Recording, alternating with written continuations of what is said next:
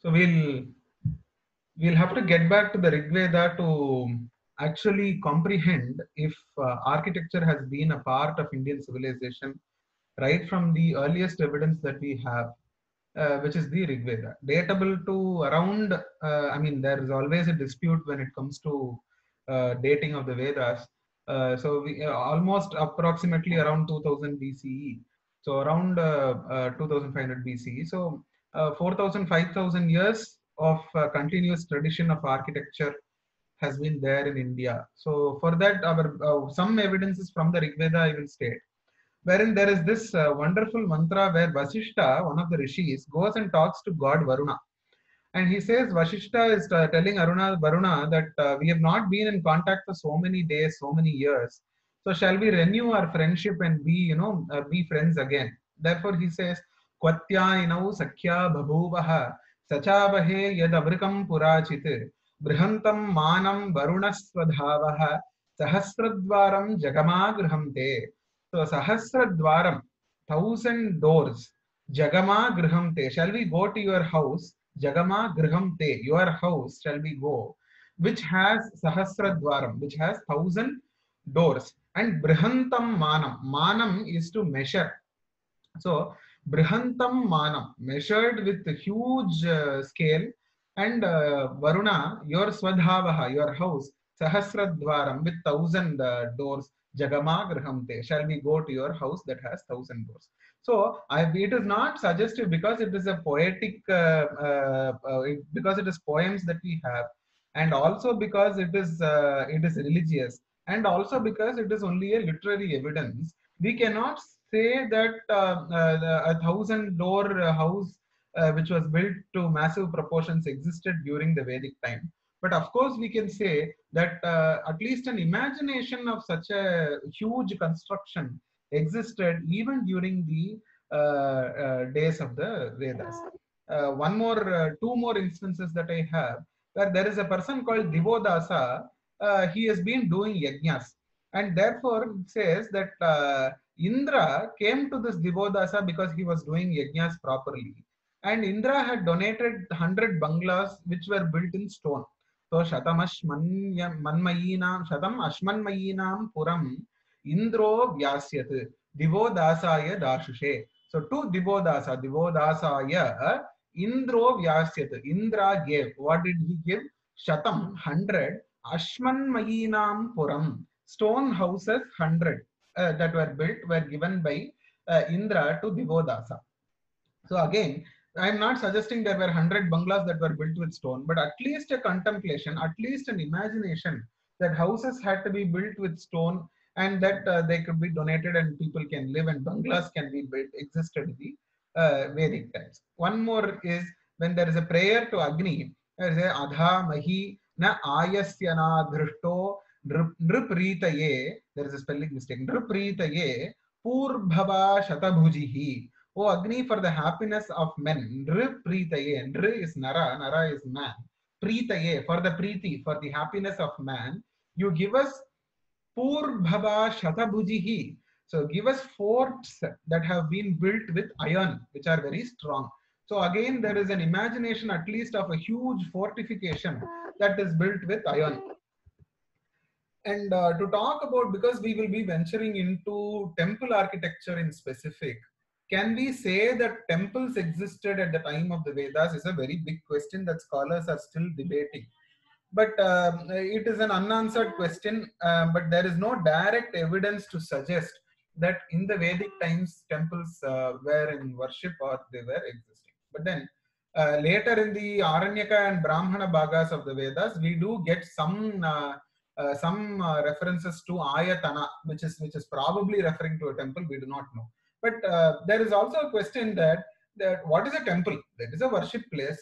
Worship place of what, according to our understanding today, is that it is a worship place of a of an idol. Uh, that is the basic understanding that we have of temple today. Of course, it is a very very crude understanding, but be that as it may, there is one reference in the Rig Veda, strange reference that says Kaimam Dashabhirmamendram Krinati Dhenubihi. So who the, the rishi who is there is uh, is uh, is actually lamenting where he says, Kai imam dashabhir mamendram krinati dhenubhihi. Dasha dhenubhihi, who will give me, Kai imam, who will, Dasha dhenubhihi, give me 10 cows. Dasha dhenubhihi krinati. And by, who will give me 10 cows and buy mama indram? Who will buy my indra? By giving me 10 cows. Now there is a problem. How can a rishi who is a man sell a god for just 10 cows? It is not possible. So therefore, there are scholars who believe that this actually means the rishi making a pratima or an idol of Indra and he is trying to sell it and who he is wondering if anybody is going to buy it by giving him the price which is 100 cows. So if that is the case, then we can of course conclude that even during the Rigvedic times, there was a procedure or a practice of worshipping an idol.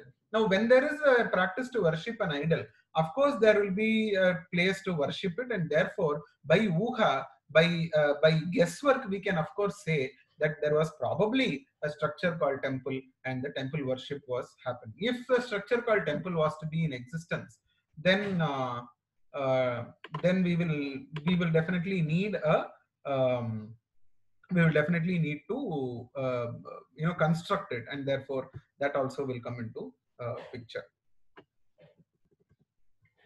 So there is uh, one more code that uh, the stupa structures uh, that we have uh, from the buddhist times about which we will be looking at in detail there is one quote in the veda itself in yajurveda which says vishnu stuposi oh vishnu you are the stupa so we can, with this reference, we can definitely say that uh, the stupa as uh, used in the Buddhist architecture uh, went again, that also went from Hinduism is one from the Vedic religion is something that we can conclude with this quote of Vishnu Stuposi.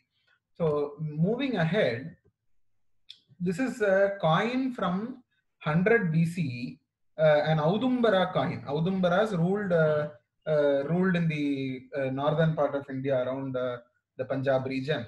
And there we have a coin from 100 BCE, which uh, which uh, you know gives us a wonderful picture of how a temple would have looked. This is a very small punchmark coin, but uh, it gives us a, a, view of how a temple would have looked.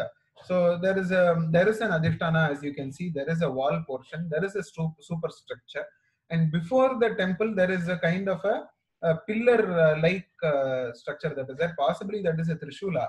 Uh, so this is a rough idea that we get from 100 BCE that how a temple would have looked. But even prior to this coin, we do this is a very tangible and irrefutable evidence uh, because it is a coin that we have. But even otherwise, we have a lot of literary evidences to the continuation of the temple tradition or the architectural tradition that has been uh, that has been arrived at a guesswork through Vedic uh, passages in the sutras, Grihya sutras. So what Grihya sutras are are uh, basically they've been dated around 4th century BCE to around 2nd to 1st century BCE. That is a 300 400 year time span for various different Grihya sutras. Grihya sutras are basically texts that inform us as to what the duties of each person is, how a marriage should be conducted, what a person should do when somebody dies, etc., etc., etc. And there are very many Grihya sutras that we have. Now, out of that, one some Grihya sutras I have taken to just look at um, uh, to just give us some perspective into what these Grihya sutras, uh, what temples were, and what social position that temple architecture uh, enjoyed prior to the uh, uh, common era. So, in the BCE times, what uh, privileges and what references do we have from the Grihya sutras to temple architecture? So, uh, there is uh, there is a mantra in the Veda which is used in the marriage where it says one branch of a tree is to be given to the bride bride. So in the marriage. So Grihya Sutra is addressing the question of this Kataka Grihya Sutra from 4th century BCE is addressing the question of what to do with that uh, tree branch. What should she do with the tree branch that has been given to her in the ceremony? And therefore in Kataka Grihya Sutra there is a sutra that says Tasya utsargaha sthanavarodake shuchau va devatayatane. it should be tasya utsargaha, where it should be left to rot is sthavarodake shuchau. In any place that is shuchaha. Shuchaha is that is clean or devata ayatane in a place where gods dwell ayatana is typically a temple that uh, the, the, uh, that has been used to the ayatana is the word that has been used to describe a temple in the uh, sutra times there is another grihya sutra called as the kaushitaki grihya sutra uh, which belongs to 4th century bce where it says suppose it now the question that it is answering is one person is going on the road he sees a temple that is there now, what should he do? Should he directly go, or there is is there something that he has to do? That is a social protocol that it is answering. And Kaushitaki Grihya Sutra in again fourth to third century BCE says Devakulayatana Pradakshinam. So therefore, whenever you go on the road and you see a Devakula Ayatana or Deva Ayatana, Ayatana again we saw that it refers to a temple. Whenever you see the temple, you will have to do a Pradakshinam and then go. You will have to circumambulate the temple and then proceed. So therefore, uh, uh, incidentally, we are only looking at uh, temple architecture, but to just give you a perspective on on how the, you know the existence of temple is how old is what we are looking at. But incidentally, we will also look at these things that have been observed, the social aspects of temples also, because these all come to a play. I mean, looking at bare architecture is not going to serve any purpose. All of these give us perspective as to how to look at a temple coming to Tamil Nadu, because we will be concentrating first, although uh, we can go into uh, any part of India and its temple architecture, we will first uh, restrict ourselves to uh, below the Vindhyas, and under that we will restrict ourselves to Tamil Nadu for present. So therefore, I will have to introduce Sangam literature also. In Purananuru, there is one Eludani Kadavul, there is a reference. So it is highly probable that in the temples of the Sangam time, we Kotam, Madam, etc., about which we will again see uh, in a little while. Uh, the Eludani Kadavul would have meant that they were worshipping not idols, but Eludu that is a chitra or a picture or a painting. So that was probably worshipped in the earlier times, and that is uh, th that is also permitted by the Agama Shastras and uh, there are temples uh, where Chitrapata is still worshipped, and uh, you have even continuing traditions like the Pichwai in in Rajasthan, etc., where you know the Chitra is still in revered worship. So probably this was what was done in the Sangam era, but still a temple existed. Now again, a Sangam era Pandyan coin is what is there on the PPT where you see two mountains uh, and in between the two mountains you see a temple structure outside the temple structure in the mountains, you see an elephant. So this is a Pandya coin uh, from the uh, BCE times, where which again gives us a picture as to the existence of a temple uh, during the Sangam times.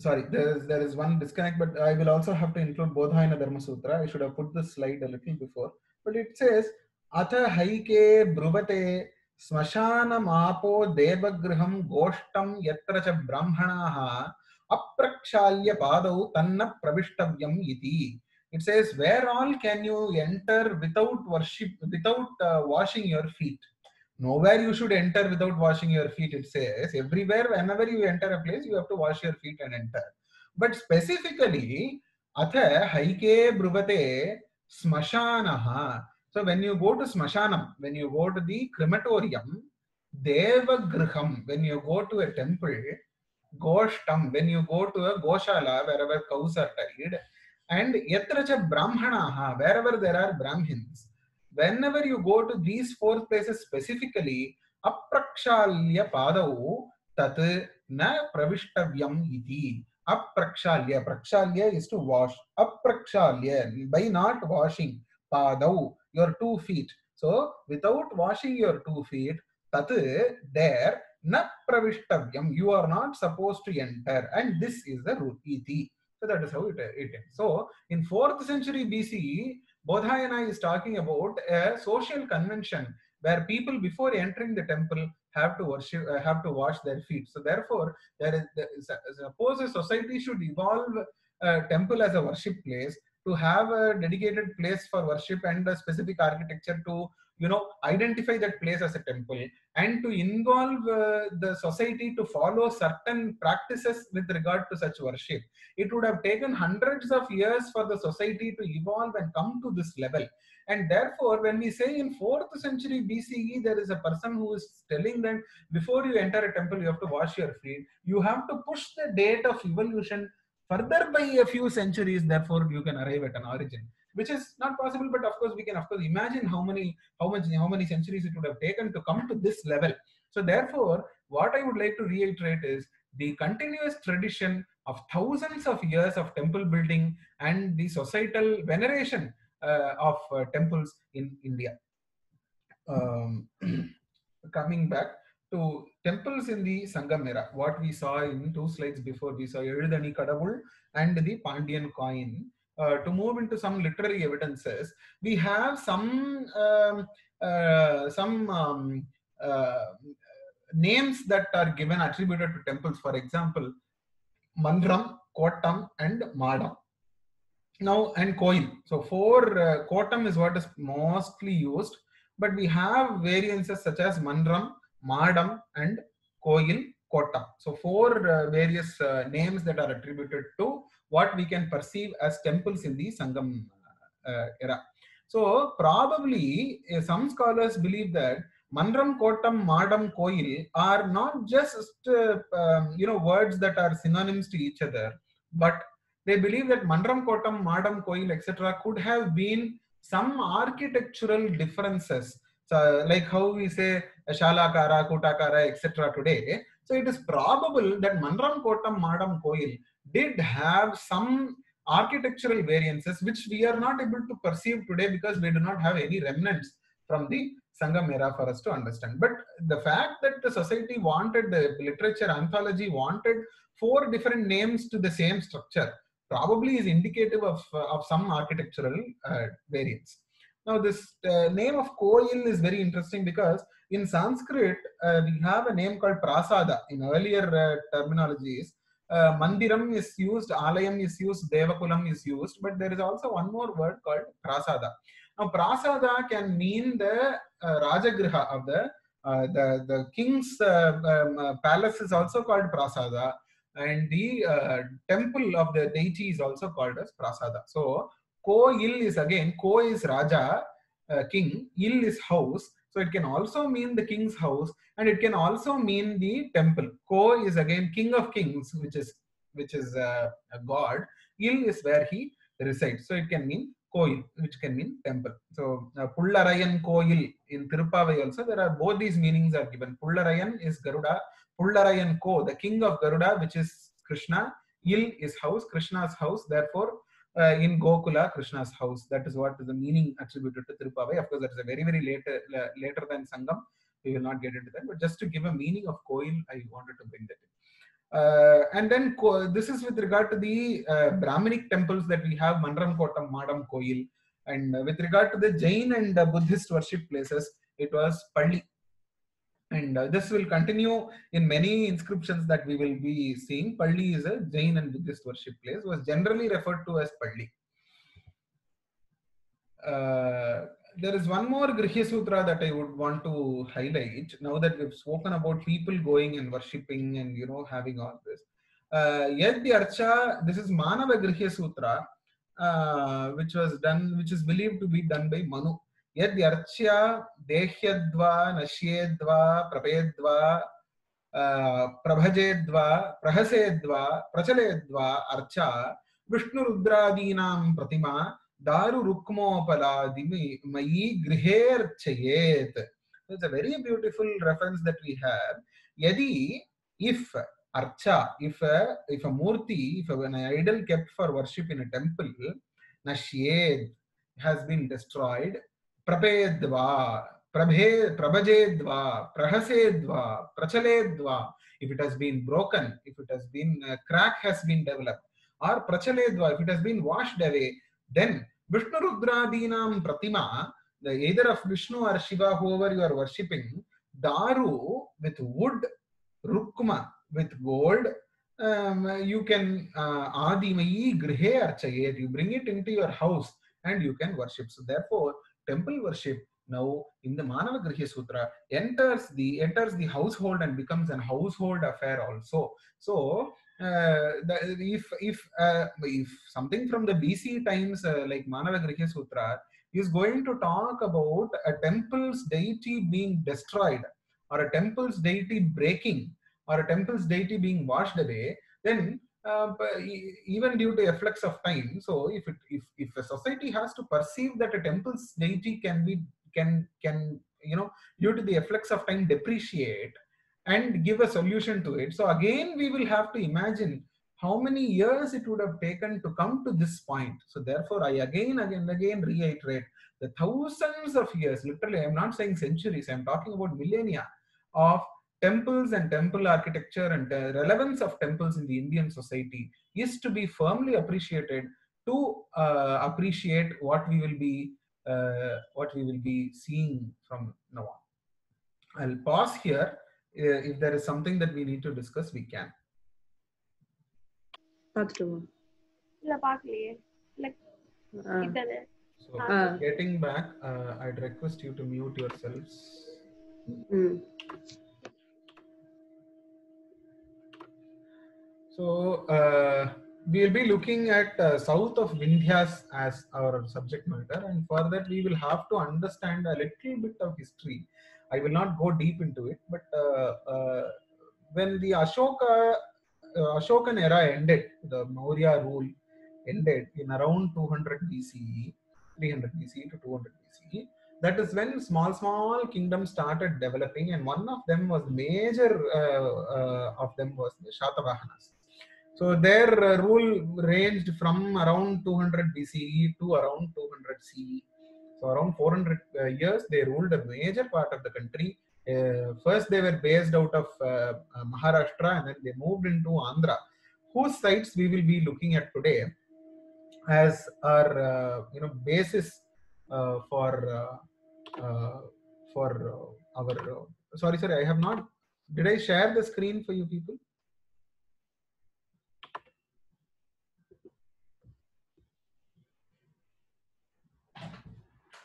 Is my screen on share? Okay, okay, okay.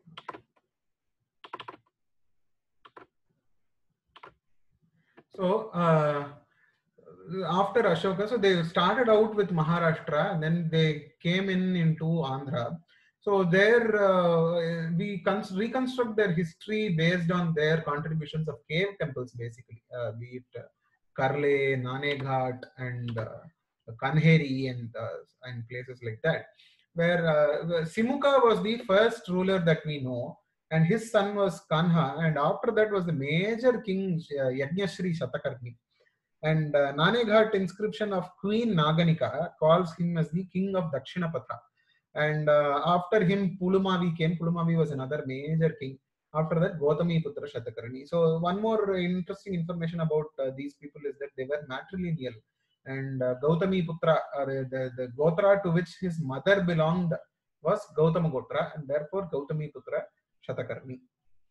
That is how they were identified. Now, after them, uh, Ikshvakus came in Andhra. Uh, Vasishti Putra Siri Chantamula was the was one of the major kings, and he was a Brahminical king. He was not a Buddhist. And later, there uh, after that, uh, you know, after his successors, they were all uh, Buddhists. After this Ikshvakus, in around the fourth century, we have from Andhra, we have the Maidavolu plates of Sivaskandavarman of the Pallavas.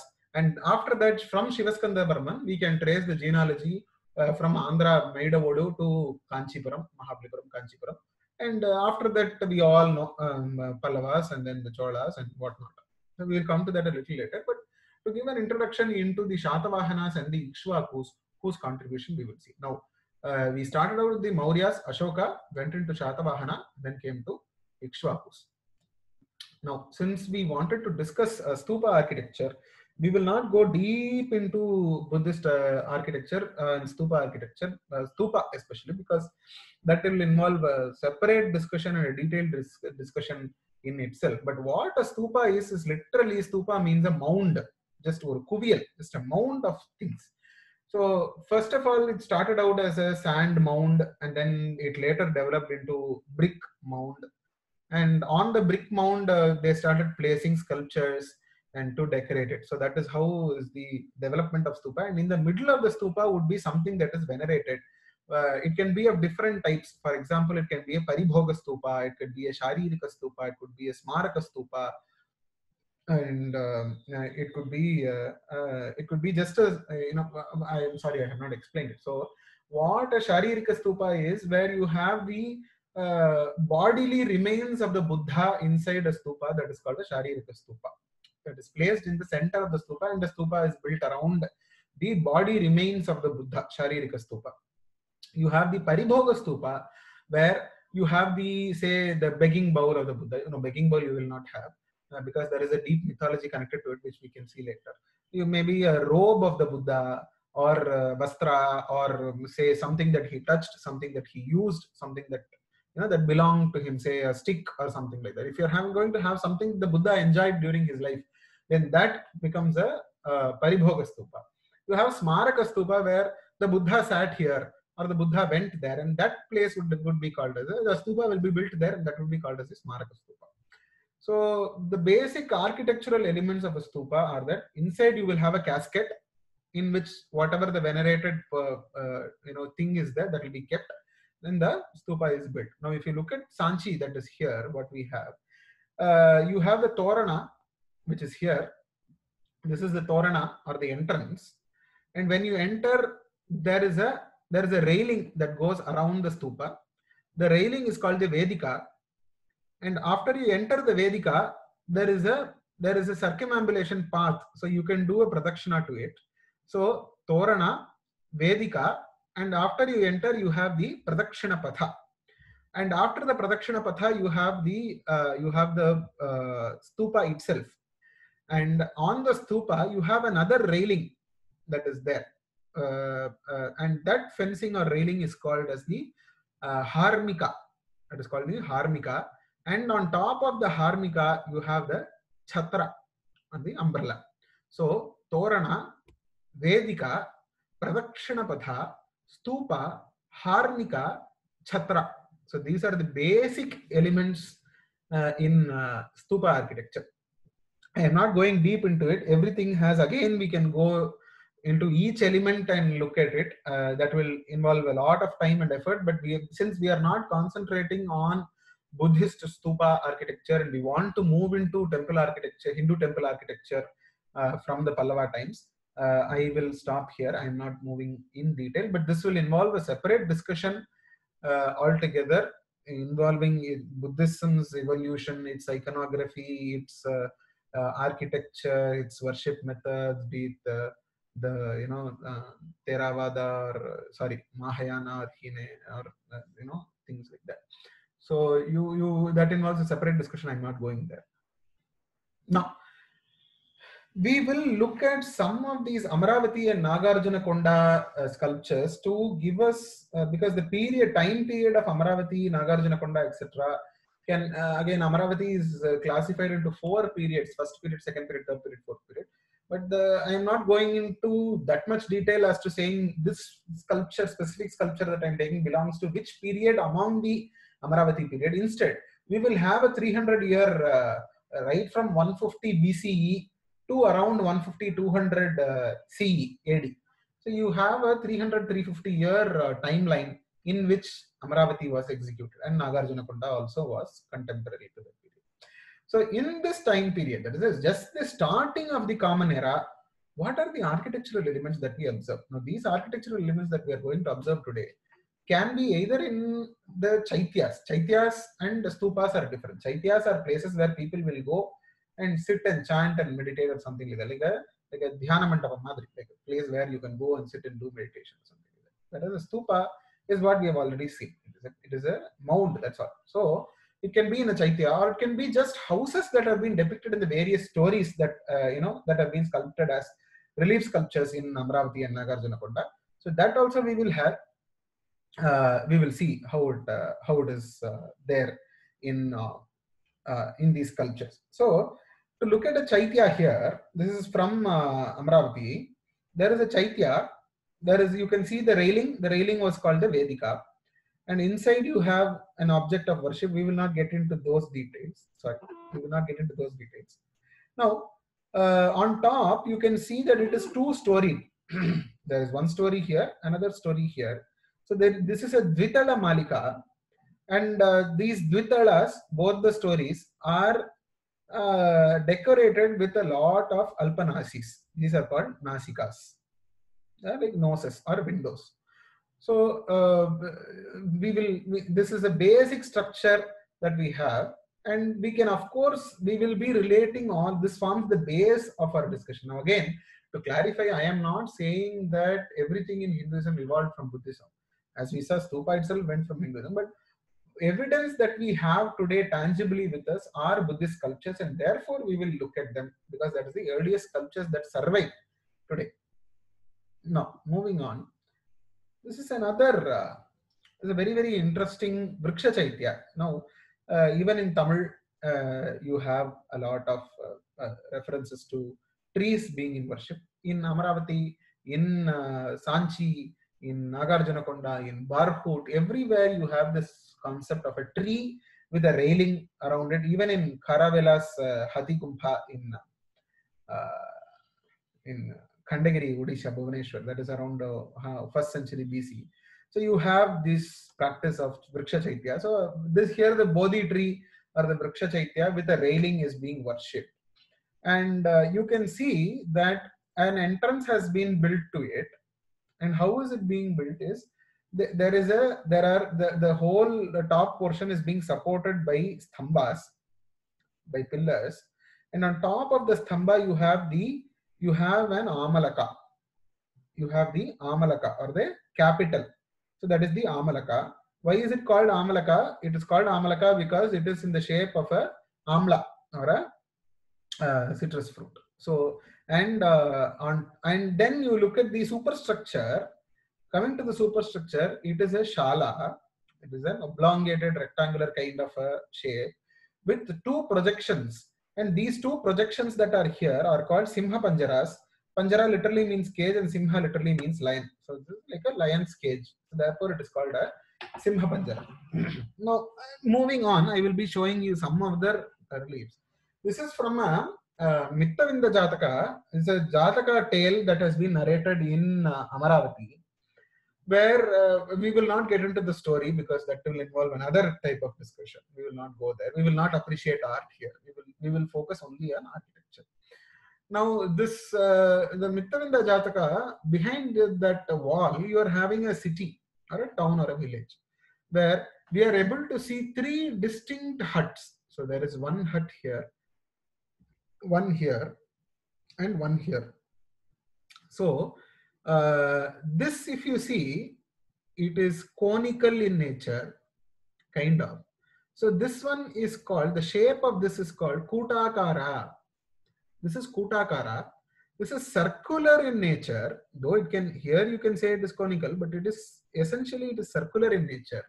So this is a vrittakara vritta is circular. So this is a vrittakara and here it is oblongated but only one side there is an opening the other side is closed. Uh, this is a uh, we do not know if it is closed on the other side but because it is a 2d figure. So if it is open on both sides probably we can call it a shalakara. If it is closed on one side it will become a gajaprashta or an apsidal structure.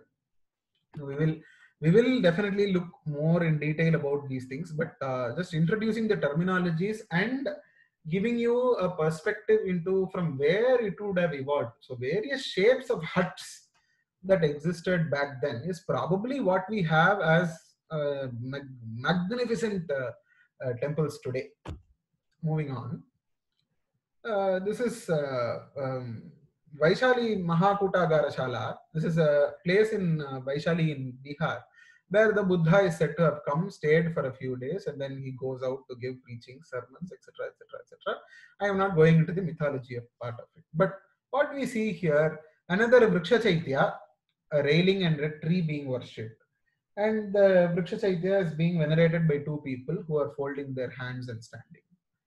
Other than that, uh, there is a there is a Gajaprishta Shikhara if you can see in the background. This is a Gajaprishta classic Gajaprishta Shikhara, and that Gajaprishta Shikhara it is probably closed on the other side, and that Gajaprishta Shikhara has three stupis on top.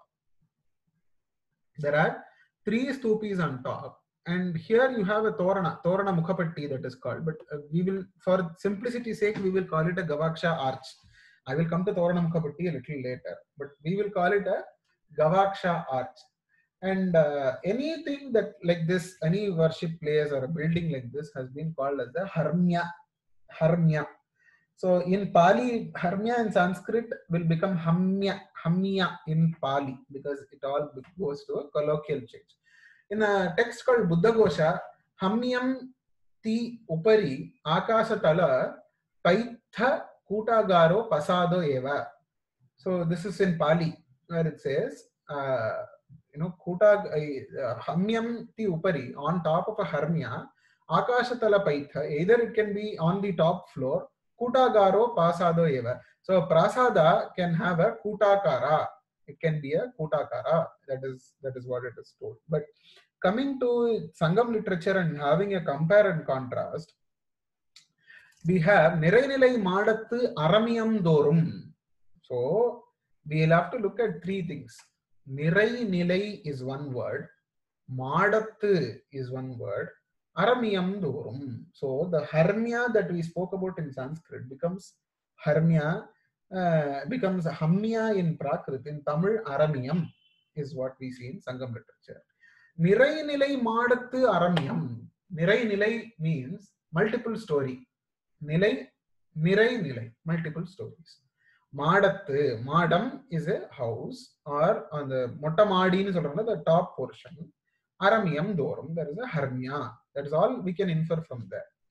Now, this harmya word in Tamil eh, from Sangam literature has been used even recently. For example, in 12th century, where a Pandya king, Sundara Pandya, goes and burns uh, the Chola territory, goes and burns Chola territory. At that time, he writes an inscription which says, uh, uh, Sembiyan நாட்டில் அறமியத்து பரியாத தூணில்லை um, um, he says. So in the Harmyas, there is not a single pillar that I have left that I have not uh, damaged. I have not, uh, you know, burnt.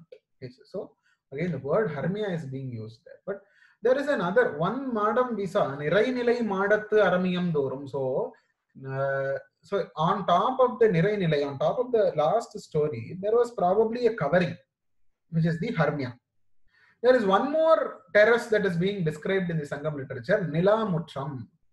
Nila Mutram or Nila Mutram is literally where you can, the Mutram or the top portion of a house terrace, where you can literally see the moon. So there was not a Harmya covering was not there. Therefore, Madam can be classified into two.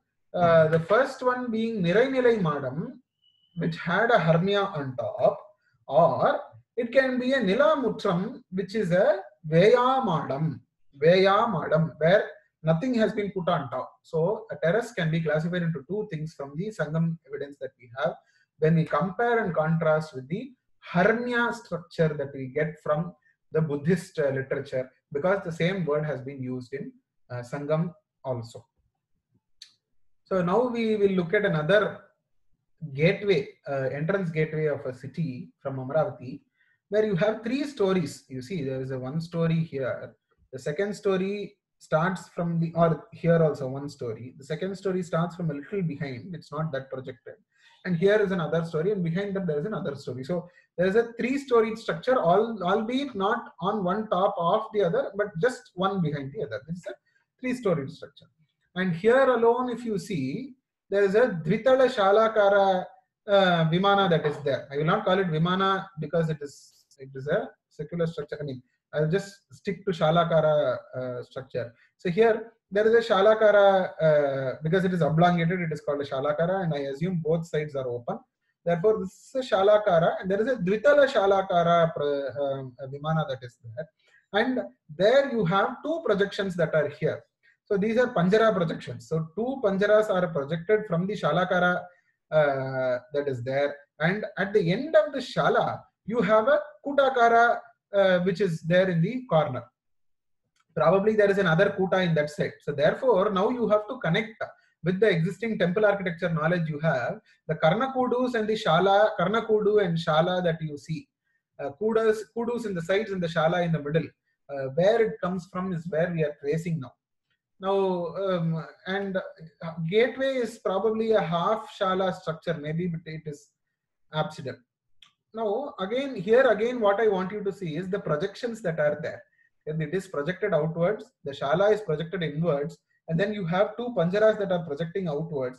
Probably the kuta that is there would have been projected inwards. So there is an up and down up and down movement of projection that is being made uh, among the kuta shala kuta shala and this will play into when we are looking at pallava architecture i will want you to remember this when we talk about hara harantara salilantara etc i will come to that later let us not uh, bombard ourselves with terminologies is another uh, example from Amravati where we have the taming of the elephant.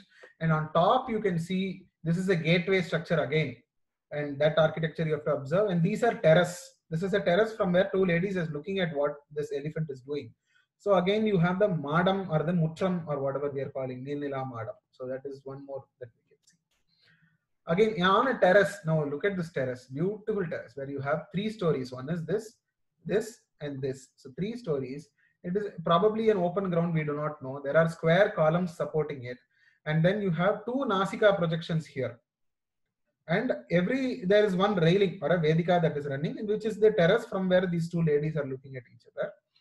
And in the in the side of the terrace there is a kutagriha a kutakara structure vimana with an eight sided shikara and a stupi now in jatakas we have descriptions which say that there is a Divya Vimana and if there it is a Divya Mayam, what constitutes a Divya Vimana is if something has Pancha Stupi. So what is a Stupi? This is a Shikara and this is the Stupi.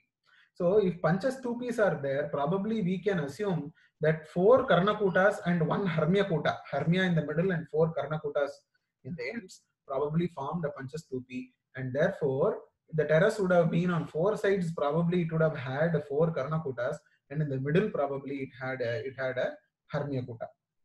Amravati, you have a Vrittakara Chaitya Griha. Vrittakara, as we saw, is a round structure, and this is an example from Amaravati to have a Vrittakara Chaitya Griha. This is a Purna Ghata. Uh, so what a Purna Ghata is, it's, sim it's simply Purna Kumbham. It simply suggests it's a pot full of ambrosia. It suggests that uh, it suggests uh, abundance and fertility. That is what it suggests. So going on, I will I will start with this thamba where this is the Purna Ghata. Uh, this involves a lot of things that I wish to discuss because Purna Ghata, Stamba, Amalaka, Nashika, Antari, Alinga, Alingana Patti, uh, Vedika, Shala, Kuta, Kapota, Tala, Griva, Shikara, Stupi, Kudu. I want to discuss all of this, but um, I think it, will become an overload. So I will pause here and we shall continue a little later because this this uh, study of this small panel will will form a very good basis for us to understand to go forward so i'll i'll, I'll stop here and stop for questions and uh, discussions